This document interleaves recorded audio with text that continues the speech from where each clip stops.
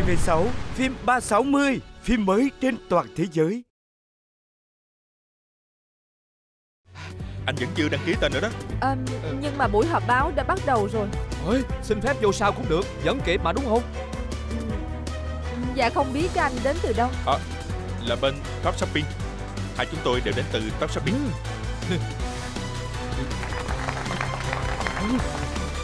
Tiếp theo sẽ là phần đặt câu hỏi. Và xin mời các anh chị nhà báo đặt câu hỏi cho anh Non nha. Xin mời. Tác phẩm của anh Non có rất nhiều chủ đề khác nhau Cả về chụp ảnh động vật ngoài thiên nhiên và ảnh chiến tranh khốc liệt. Vậy cái gì là nét đặc trưng thật sự của anh Non ạ? À? Nét đặc trưng thật sự của tôi Nó nằm ở trên tất cả mọi tác phẩm đó. Nhưng chắc chắn là Cách mà tôi truyền thông tin qua hình ảnh Sẽ có sự thay đổi theo từng trải nghiệm Mà tôi có được vào những giai đoạn ở cuộc đời Giai đoạn đầu tôi bắt đầu trở thành một nhiếp ảnh gia Lúc đó tôi mơ màng Tôi muốn đi vòng quanh thế giới với người mà tôi yêu Chắc cũng giống như là mọi người thôi Có đúng vậy không? Nhưng để ý vào khoảng thời gian sau này những bức ảnh của anh hầu như là về những đứa trẻ trong chiến tranh nhiều hơn những bức ảnh thể loại khác. Anh Non cố tình truyền tải điều gì đó đúng không? Vào 6 năm trước, tôi nhận được một lời mời đi chụp ảnh trong cuộc chiến tranh ở Syria.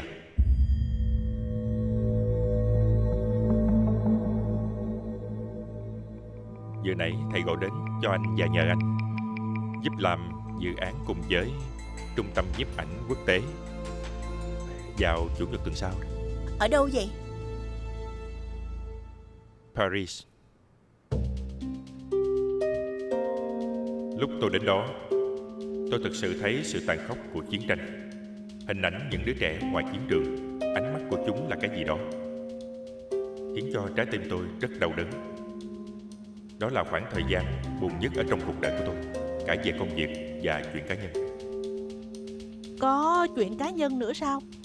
Anh nói chuyện cá nhân nghĩa là sao Ờ hả tôi um, Từng có người yêu Và chuẩn bị kết hôn với nhau Nhưng mà phải chia tay nhau Tôi um,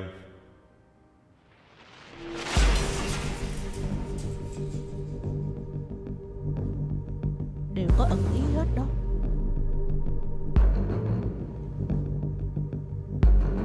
Sao sao cô để hai người đó vào đây được hả?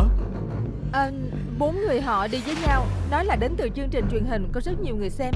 Và bọn họ rất giỏi ăn nói Đến mức chúng tôi không từ chối được luôn. Xin hỏi các nhà báo đến sau Có gì muốn hỏi hay không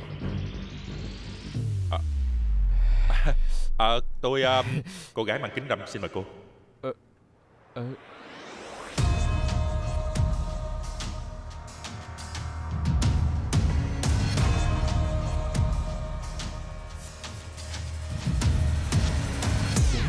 Đi qua đi Không có sao đâu. Đi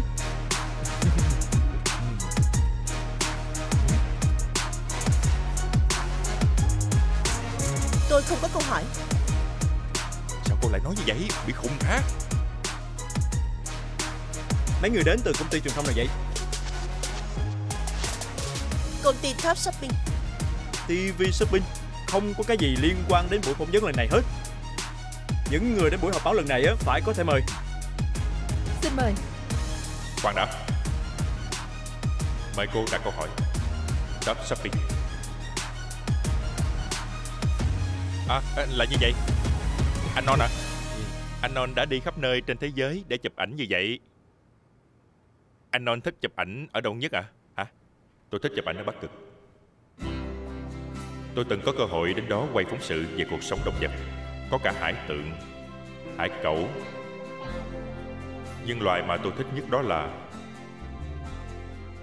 Gấu Bắc Cực. Nó dễ thương đến mức Tôi muốn mọi người được đến nhìn thấy tận mắt Bao gồm cả người mà tôi yêu. Nhưng mà chưa từng có cơ hội.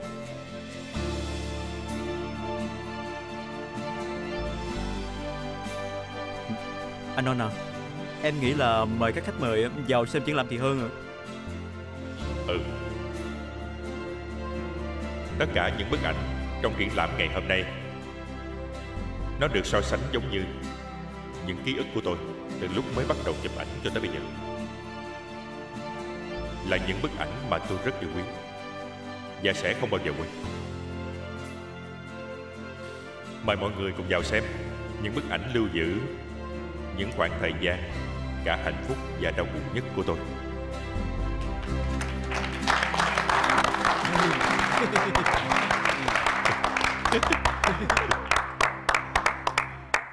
Dạ xin lỗi. Anon kêu tôi ra mời nhóm của Top Shopping và phỏng vấn kiểu độc quyền. Ủa? Ủa? Ê? Anon thấy mọi người đến sau nên sợ rằng không có được thông tin đầy đủ. Thấy sao Tôn? Anh mày có đỉnh không?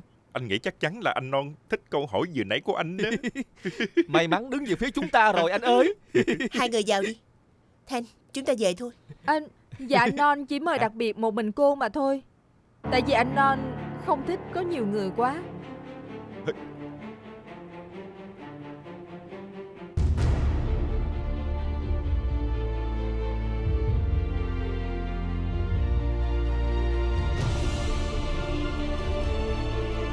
quái gì vậy trời? Cái gì vậy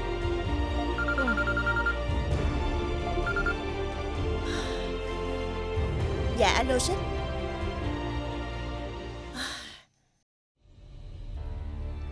Khoan đã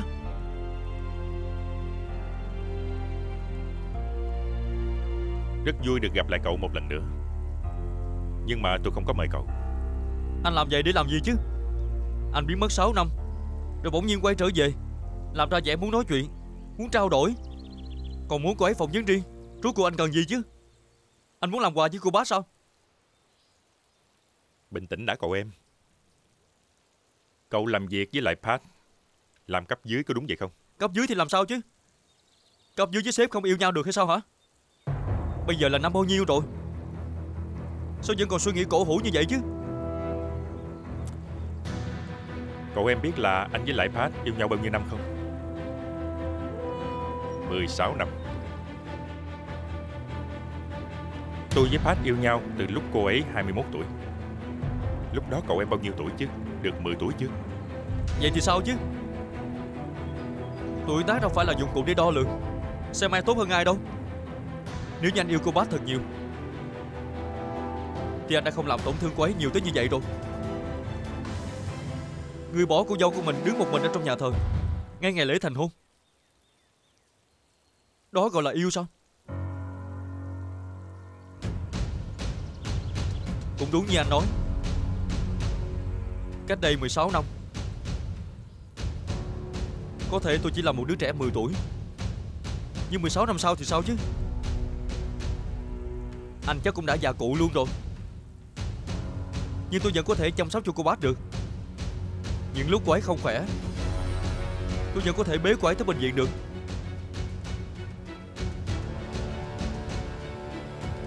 Vậy còn anh Anh có làm được không hả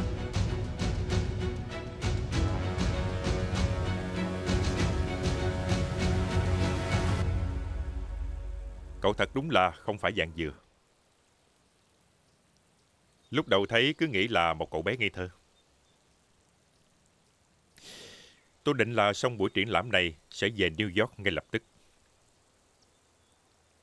Nhưng mà bây giờ, cậu đã làm cho tôi thay đổi ý rồi. Cậu chắc là sẽ cạnh tranh với tôi chứ. Cạnh tranh cái gì? Thì nếu cậu tự tin vào sức trẻ của bản thân Thì không cần chờ đến 16 năm sau đâu.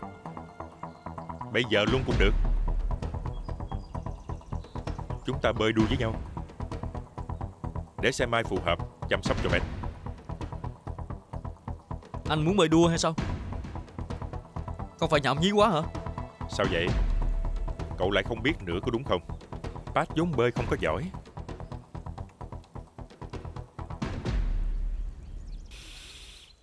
Cô ấy thích ngồi gần nước thật, Nhưng cô ấy không thích bơi, Vì lúc nhỏ cô ấy từng bị ngạt nước.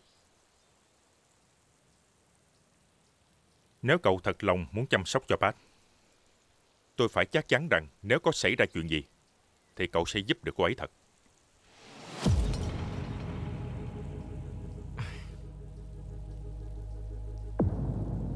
Được. Muốn đua bao nhiêu mét? Hồ bơi này Bơi lên bơi về một vòng. Được. Xuống đi.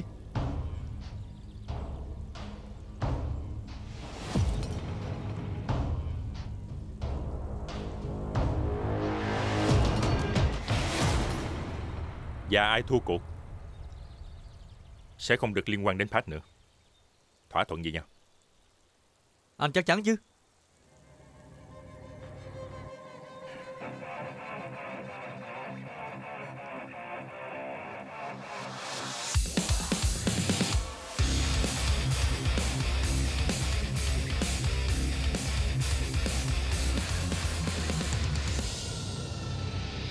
Tôi đếm từ 1 đến 3 Sẵn sàng chứ?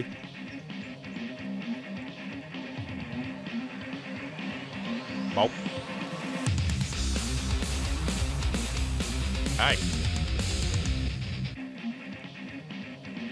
Ba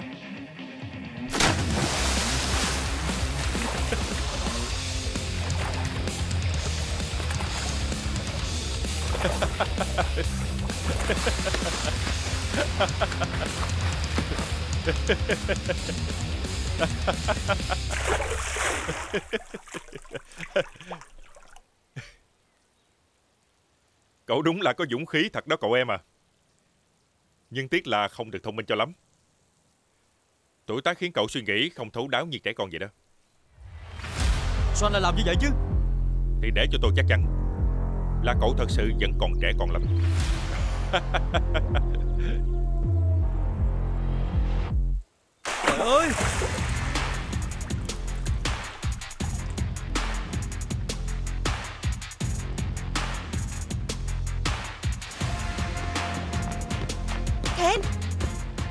gì vậy? Cậu xuống dưới đó làm gì?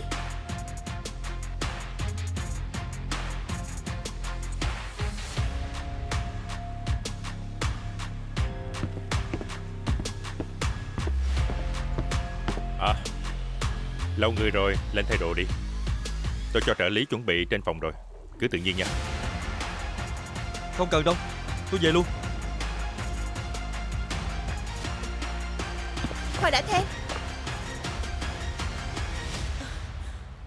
cần phải nói chuyện với anh ấy chuyện của K-Power. Lúc nãy sếp gọi tới nhắc nhở tôi một lần nữa. Cậu mau lên thay đồ để xuống đây với tôi nha. Tôi không muốn ở riêng với anh ta. Nha.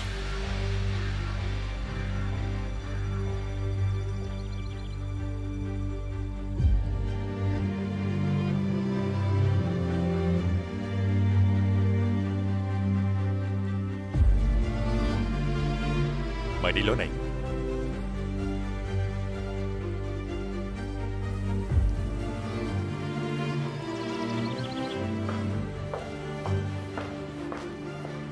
Đã làm gì Then Tại sao Then lại xuống hồ bơi như vậy?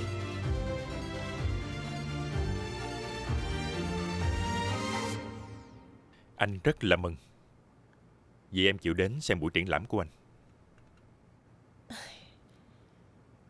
Tôi không có tới xem buổi triển lãm của anh. Hôm nay tôi tới đây Là vì muốn nói chuyện về công việc với anh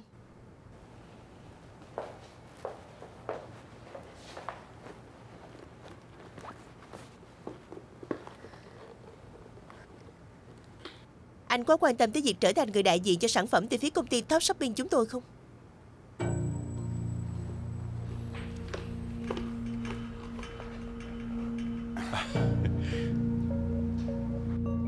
Sao em lại nghĩ là anh sẽ quan tâm chứ? Nếu vậy thì tùy anh.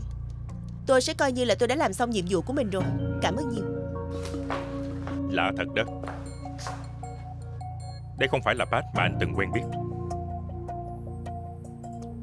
Pat của trước đây, Không bao giờ chịu bỏ cuộc đơn giản như vậy đâu. Đặc biệt là về công việc.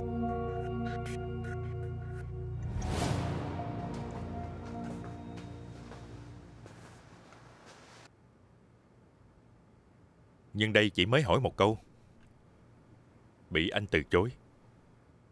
Mà Pat đã dội bỏ cuộc rồi hay sao? Em thay đổi nhiều quá. Anh thật sự thấy không có quen.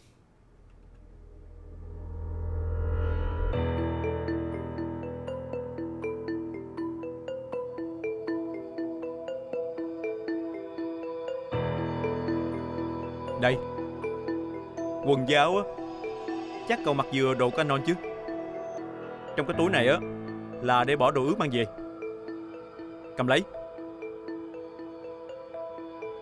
Tắm rửa xong rồi á Thì mời cậu về nha Và đưa cái bọn đến đây cùng cậu á Về luôn thì càng tốt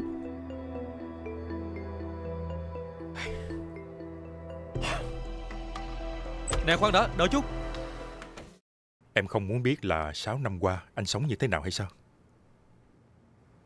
Chúng ta nói chuyện về công việc tiếp thì hơn. Công ty Top Shopping quản lý rất nhiều sản phẩm. Trà thảo mộc K-Power là một trong những sản phẩm bán chạy nhất của chúng tôi. Em thử xem những bức ảnh này đã được chưa? Xem ánh mắt của những đứa trẻ này đi. Đối với nhiều trẻ em sống trong cảnh chiến tranh, thì những bức ảnh này là bức ảnh cuối cùng trong cuộc đời của chúng.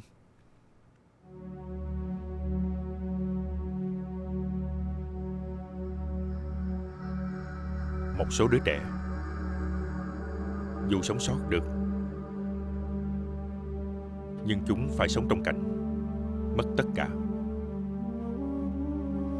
Nào là nhà cửa, bạn bè, và cả gia đình nữa. Cuộc đời nhiếp ảnh gia, nhìn thì có vẻ như sẽ an toàn, gặp những điều đẹp đẽ nhất. Đa số mọi người sẽ ganh tị. Nhưng rất ít người biết được rằng để có được những bức hình đẹp như vậy, thì phải đầu tư và bỏ biết bao nhiêu công sức với cái sự giá lạnh của bắc cực, với cái nóng gay gắt của nắng, nóng đến mức cảm thấy như bị thiêu đốt vậy. Ví dụ như ảnh bài sư tử, anh chụp ở kenya chụp xong bức ảnh này thì con sư tử mẹ phát hiện liền đề phòng. Sợ là anh sẽ hại con của nó nên nó đã xông vào dồ anh. Anh nghĩ anh chết là cái chắc rồi. Thật vậy sao? đây vết sẹo còn đây nè chờ cho có người đến để giúp anh. Anh suýt nữa thì không qua khỏi.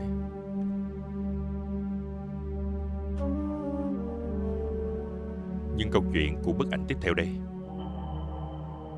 thì còn đáng sợ hơn. Cá sấu nước ngọt ở sông Zambezi, Namibia. Anh ở trên sông mất hai ngày hai đêm mới chụp được bức ảnh này. Lúc chụp xong bức ảnh này con cá sấu nhảy xuống nước và bơi thẳng về phía của anh. Và trước khi anh kịp nghĩ được cái gì đó, thì nó đã há miệng ra cắn. Và nuốt chửng lấy người của anh. Không phải sự thật Anh nói dối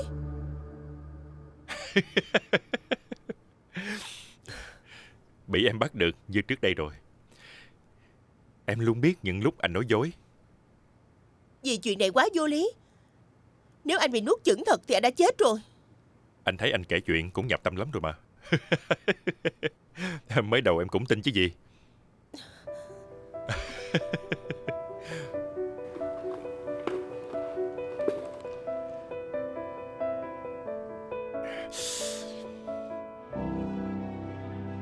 Pat, đi với anh một chút nha.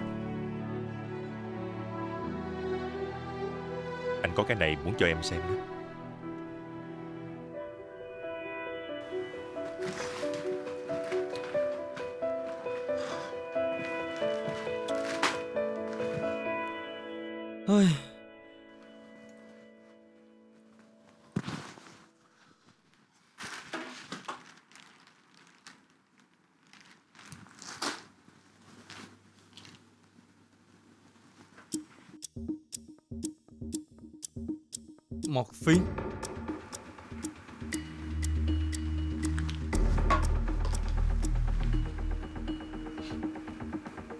Regabalin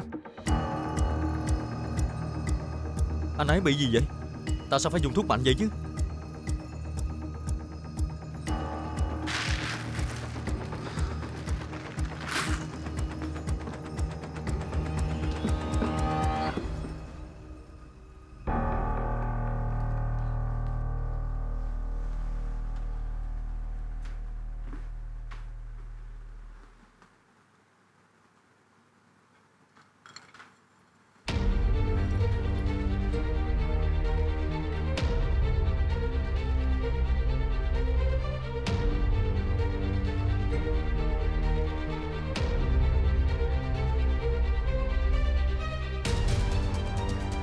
Rồi một ngày. Trợ lý của anh ấy tới gặp tôi Nên tôi đã gửi nhẫn mà chúng tôi từng trao đổi cho nhau. Mang đến trả anh ấy. Và từ đó chúng tôi không gặp lại nhau nữa.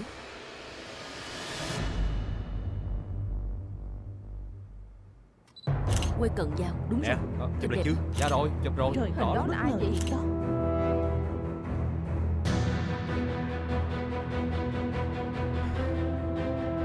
Sao bức ảnh đó lại nằm ở đây. Anh Non là người mang ra treo Trước khi những nhà báo tới một chút xíu. Gỡ xuống ngay. Không được đâu. Như vậy anh Non sẽ giận đó. Nhưng tôi là trợ lý của anh ấy. Tôi quản lý mọi việc ở đây. Cô phải làm theo lệnh của tôi. Tôi kêu cô gửi xuống mà. Được rồi. Đây là thứ mà anh muốn cho bác xem. đó.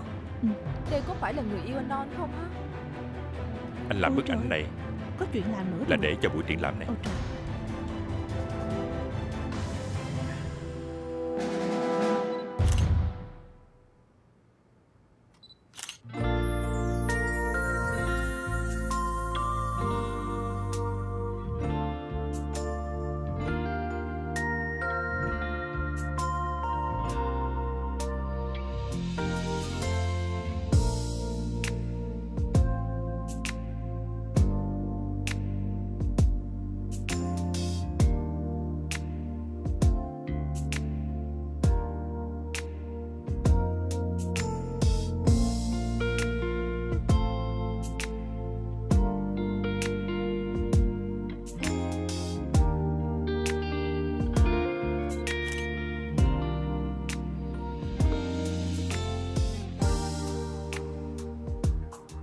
nguồn gốc của tên buổi triển lãm này nữa Những tác phẩm nghệ thuật yêu dấu của tôi.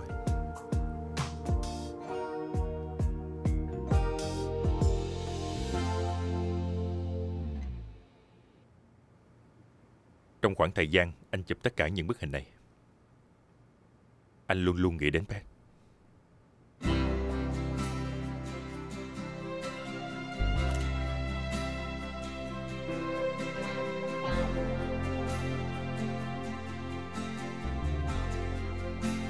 Chúng ta bắt đầu lại từ đầu nha bác. Ôi, ôi. Thì là người yêu của anh ấy đó.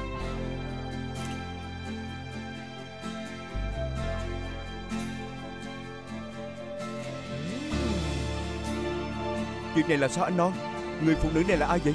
Đây có phải là người yêu của anh Người mà anh nói đã chia tay lúc trước đó Có phải như vậy không Dạ đúng rồi Trả đó lời đi Xin trả lời đi Phải là ạ trả lời đi ạ Trả lời Đáp ứng Trả lời đi. Phải là cô ấy Nói không? nói là? Anh Anh nói nói là Anh nói Anh nói đi. Anh nói đã Anh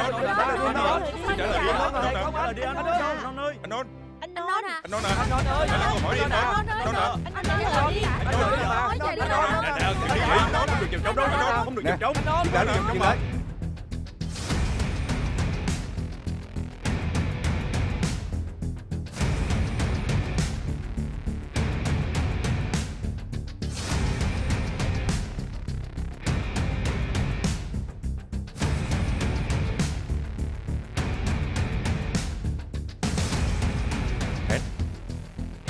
gì vậy hả? Cậu Cậu có biết chuyện này không vậy? Anh ơi Vậy có nghĩa là Người yêu mà anh Non nói tới Lúc họp báo lúc nãy á Chính là chị Bát của chúng ta không phải sao? Trời Không dám tin luôn á trời. Hen Ờ. Hen Quay lại nói chuyện đi đã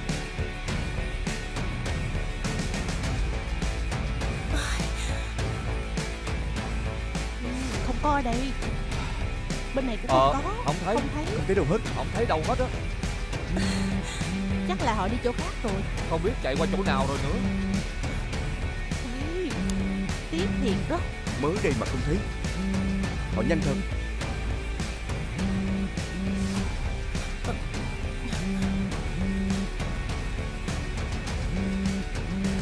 Chúng ta qua bên kia coi thử đi. Đi thôi. Đi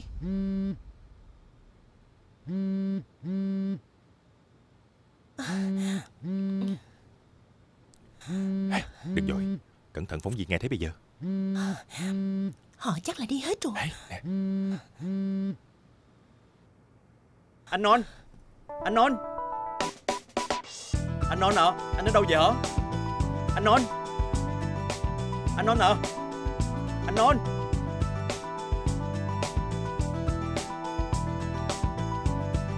Thiệt tình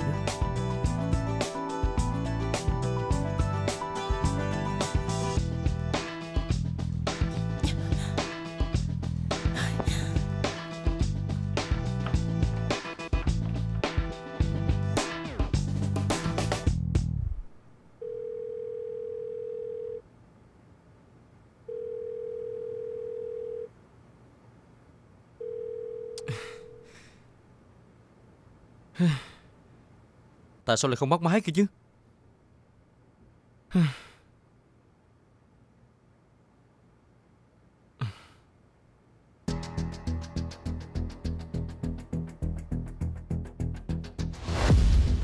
Bức ảnh đầu tiên sau khi mổ mắt Và nằm hôn mê trên giường 2 tháng. Tháng 8 Năm 2016 Hôn mê sao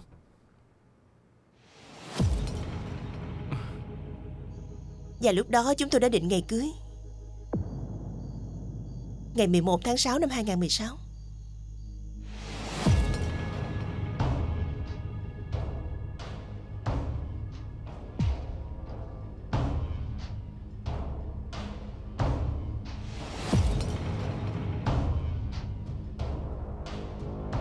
Aleppo, Syria.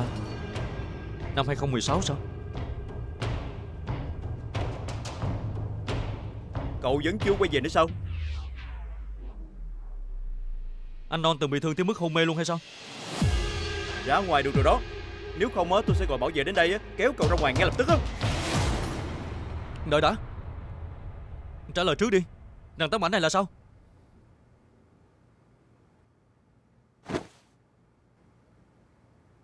Ảnh chiếc xe mà anh Non ngồi Bị bơm nổ cách đây 6 năm trước. Bị bơm nổ sao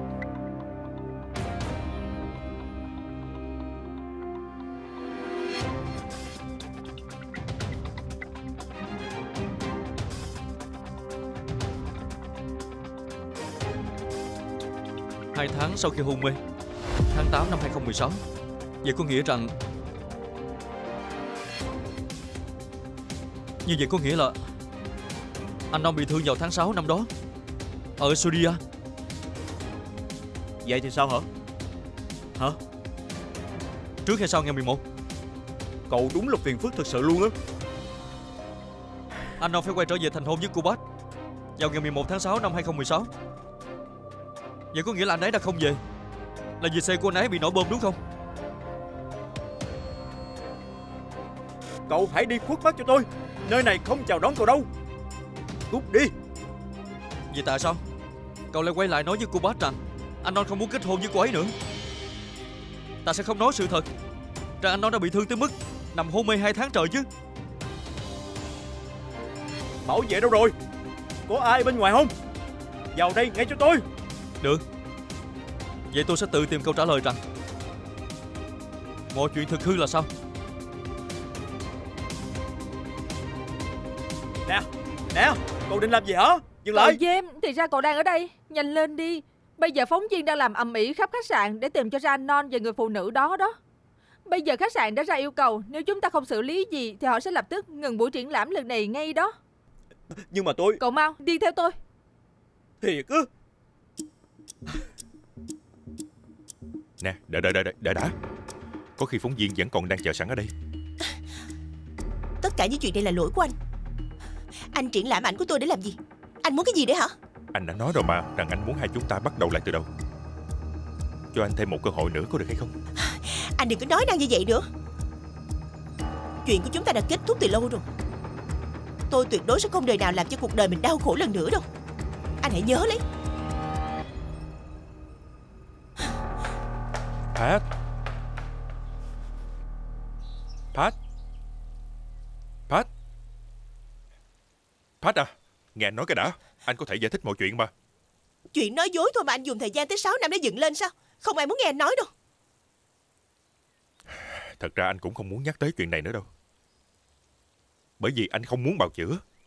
Dù sao đi nữa Đó cũng là lỗi của anh Vì đã không quay về vào ngày cưới của chúng ta. Nếu như anh không muốn bào chữa gì thì anh nói ra làm gì Giữa hai chúng ta không còn gì nữa thật hay sao hả bác Có chứ. Điều còn lại Chính là sự thù hận đó. Hận gia đã làm như vậy với tôi. Anh biết rõ đúng không? Suốt thời gian 6 năm tôi chờ đợi anh, Mỗi ngày chờ anh trở về, Không phải vì nhớ anh đâu. Nhưng tôi muốn hỏi anh là, Tôi đã làm gì sai nặng nề lắm sao? Tôi đã làm gì xấu xa lắm sao? Tôi mức anh phải bỏ rơi tôi trong ngày cưới như vậy chứ? Tại sao em lại nghĩ như vậy chứ? Em không làm gì sai cả. Anh có người khác hả? Anh chưa từng có ai ngoài em cả Pat à. Vậy thì Có lẽ là anh đã hết yêu tôi rồi. Thật ra Nếu như anh đã hết yêu tôi Thì anh phải nên nói sự thật với tôi. Chứ không phải tự mình biến mất không một tin tức như vậy. Sáu năm trôi qua đó Nó không có giá trị gì để anh trân trọng trái tim của tôi hay sao? Pat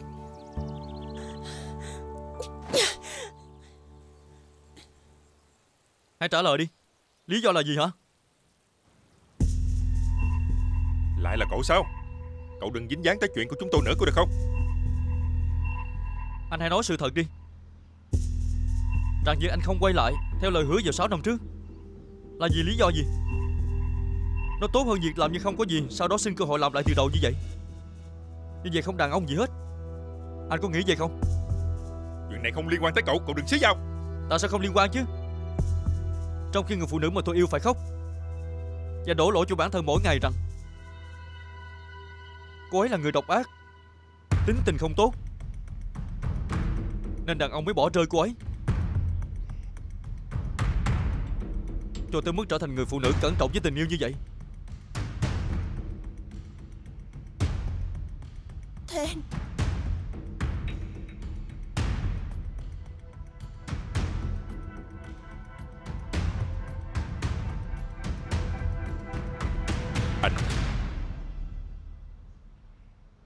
Sẽ kể mọi chuyện cho Pat nghe. Nhưng không phải là trước mặt thằng nhóc này. Thằng nhóc sao? Nếu như anh thực sự là người trưởng thành, Thì có lẽ anh sẽ không giữ lại chiếc nhẫn này đâu.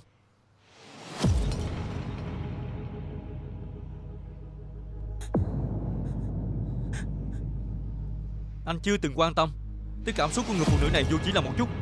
Vậy cho nên, Anh cũng không hề có quyền để giữ lại cặp nhẫn này. Nè. Sao cậu lại dám làm như vậy chứ hả? Chính anh mới đúng á. Sao anh còn dám Giữ lại cặp nhẫn này chứ? Tình yêu của anh Đầy rẫy sự lừa dối Và che giấu. Người như anh Không hề xứng đáng Với tình yêu của người phụ nữ này Dù chỉ là một chút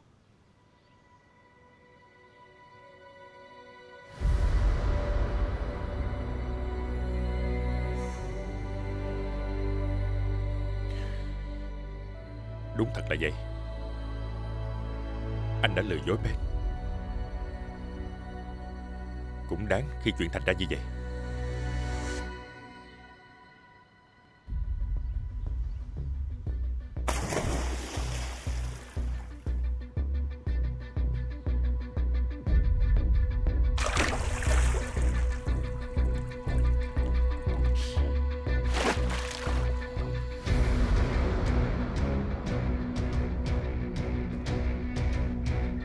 Về tôi bắt à?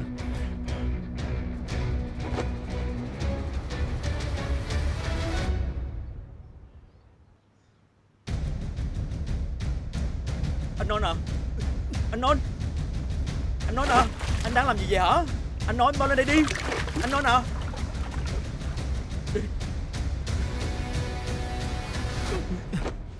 Cậu làm gì anh nói vậy hả? Anh nãy vừa mới phẫu thuật xong á.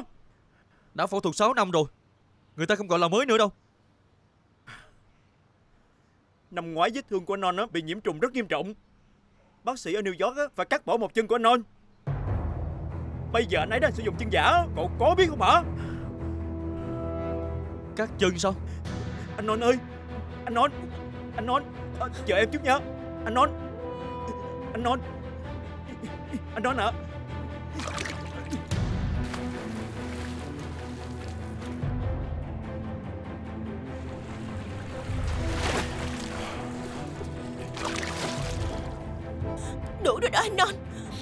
tìm nữa mà. Chiếc nhẫn đó không quan trọng tới mức đó đâu. Quan trọng chứ. Mỗi một chuyện của chúng ta Đều quan trọng đối với anh. Anh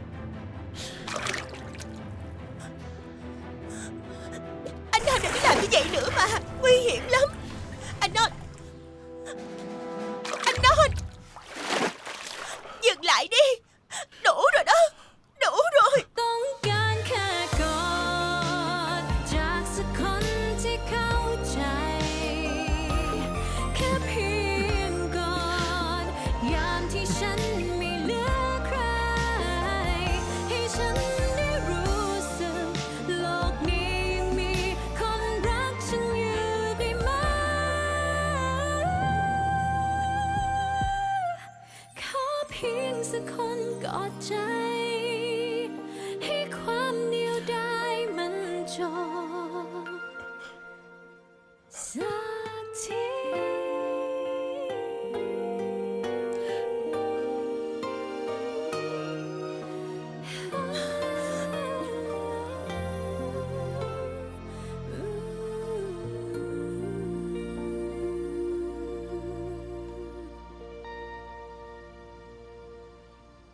Vừa lòng chưa hả? Cậu đã làm chuyện ngu ngốc như vậy. Nếu như hôm nay anh Non bị bệnh lại Thì cậu phải chịu trách nhiệm đó.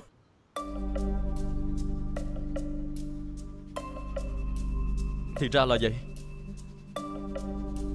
Nên anh ấy mới dùng thuốc giảm đau mạnh như vậy. Cậu có biết Lợi nhuận một giờ của anh Non kiếm được là bao nhiêu tiền không hả? Tôi sẽ kiện cậu đến khi cậu sạch túi thì thôi Cứ đợi đó Tôi không nghĩ rằng anh ấy sẽ bị thương nặng tới như vậy. Tôi chỉ muốn anh ấy nói sự thật thôi. Như vậy cô bác sẽ hiểu ra Sẽ ngừng đổ lỗi cho bản thân mình. Có lẽ như cậu làm mọi thứ điều gì người phụ nữ đó nhỉ? Hử? Lo lắng cho cảm xúc của cô ấy quá mức. Sao hả? Cậu thích cô ta sao? Nếu như vậy thì sao hả? Cậu đúng là ngu hơn tôi nghĩ luôn á. Cậu làm như vậy thì họ sẽ quay lại làm lành với nhau sao chứ Đồ chậm phát triển. Nếu như cậu rất yêu cô ta, Thì cậu cứ giữ cô ta lại. Hãy dẫn cô ta quay về. Và đừng dính dáng với anh non nữa.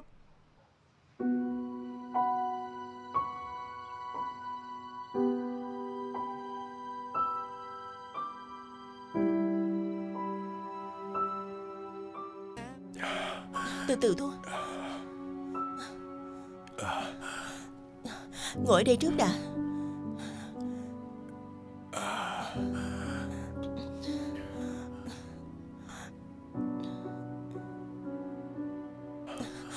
Khăn đây nè Cảm ơn em nhiều.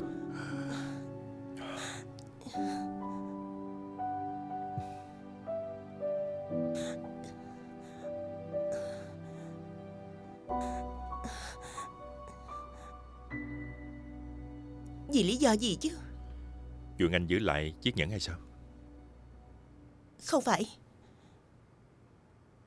Chuyện Chân của anh đó.